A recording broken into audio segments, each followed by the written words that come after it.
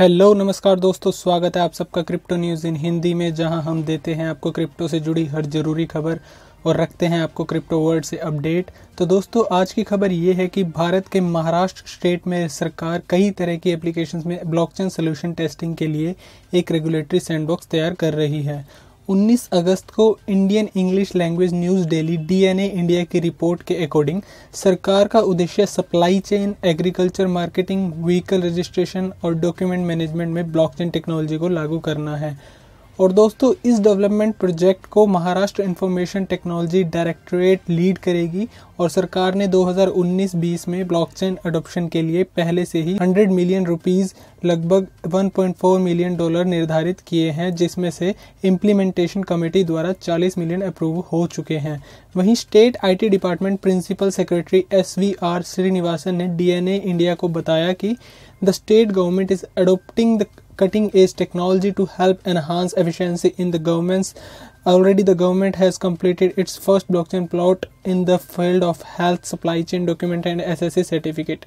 A detailed report has been prepared to go for extensive use of blockchain technology in various government departments. A regulatory sandbox, which will be common framework for adopting tech, blockchain technology, will be prepared in next five to six month मतलब जो state government है वो governance में efficiency बढ़ाने में मदद करने के लिए कटिंग एज टेक्नोलॉजी को अडॉप्ट करेगी। और सरकार ने पहले से ही इसके लिए हेल्थ सप्लाई चेन डॉक्यूमेंट्स और एसएससी सर्टिफिकेट की फ़ील्ड में अपना पहला ब्लॉकचेन प्लॉट को कंप्लीट कर रखा है। और गवर्नमेंट डिपार्टमेंट में ब्लॉकचेन टेक्नोलॉजी के इस्तेमाल के लिए एक डिटेल्ड रिपोर्ट रेडी कर रखी है और ब्लॉकचेन टेक्नोलॉजी को अपनाने के लिए एक रेगुलेटरी सैंडबॉक्स जो है वो अगले पाँच से छः महीने में रेडी हो जाएगा। दोस्तों, अगर आपको नहीं पता तो बता दें कि महाराष्ट्र स्टेट इंडिया की सेकेंड लार्जेस्ट स्टेट है, जहाँ 114 मिलियन से ज़्यादा लोगों के घर हैं।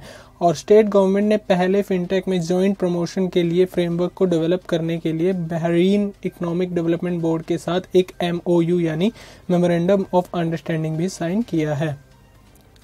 वहीं इससे हटके कई इंडियन कंपनीज़ और गवर्नमेंट इंस्टीट्यूशन अपने एडमिनिस्ट्रेटिव मॉडल्स और बिजनेसेस में ब्लॉकचेन टेक्नोलॉजी को अप्लाई कर रहे हैं और जून में एक न्यूज़ भी आई थी कि रिज़र्व बैंक ऑफ़ इंडिया अपने आर एंड डी ब्रांचेस में बैंकिंग के लिए एक ब्लॉकचेन प्लेटफॉर्म को डेवलप कर रहा है। वहीं दोस्तों, एक पिछले हफ़्ते एक Indian telecom provider Reliance Jio Infocomm Limited ने अनाउंस किया है कि वे दुनिया में सबसे बड़े ब्लॉकचेन नेटवर्क में से एक को डेवलप कर रहे हैं। फर्म के चेयरमैन और managing director Shri Mukesh D Ambani ने कहा कि over the next twelve month Jio will install across India one of the largest blockchain network in the world with 10 of thousands of nodes operational on one day.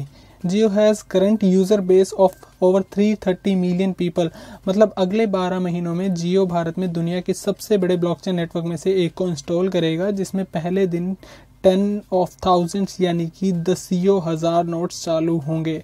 दोस्तों, आपको बता दें कि अभी जियो के लगभग 330 मिलियन से ज़्यादा यूज़र्स हैं।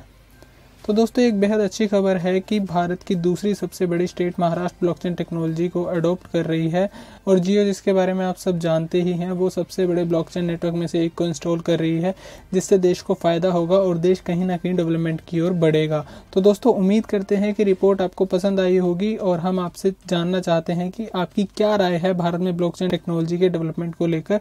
हमें आप कमेंट बॉक्स में कमेंट करके ज़रूर बताइए। मैं मिलता हूँ आपको अगली वीडियो में। तब तक आप वीडियो को लाइक शेयर एंड कमेंट करें और क्रिप्टो वर्ड से अपडेट रहने के लिए बने रहिए हमारे साथ और सब्सक्राइब कीजिए हमारा चैनल, क्योंकि हम रखते हैं हर खबर पर नज़र।